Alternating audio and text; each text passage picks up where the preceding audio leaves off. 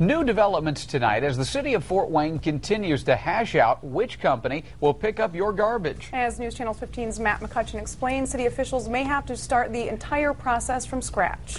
That's right. There are several new developments. This first has to do with the way the city actually sought those bids in the first place. Now, two methods are commonly used. One seeks just prices, while another seeks prices and potentially new methods. City Councilwoman Karen Goldner says the wrong option was used under state law. And while that issue is being looked into by attorneys, new information comes regarding the somewhat controversial issue of who will ultimately win that contract. Five companies are in the running, and that includes existing trash collector National Serv-All. The issue of Earth First, a somewhat new company which used to have a slight ownership interest by the mayor's brother, had emerged as a frontrunner. Earth First put together a package that came in as much as $2.5 million a year cheaper than National Serv-All's proposal. But now National Serv-All wants to keep things as is.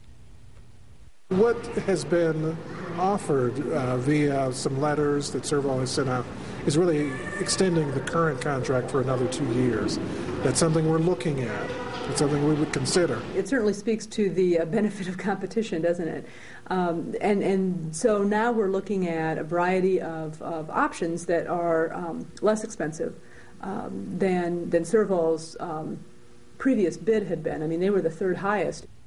City Council ultimately will vote on the winner, but it isn't even really ready for a vote yet. Now, if the bid process has to start over from that possible violation, it could take even longer, and time is ticking. The city's current contract with Serv-All ends on New Year's Eve.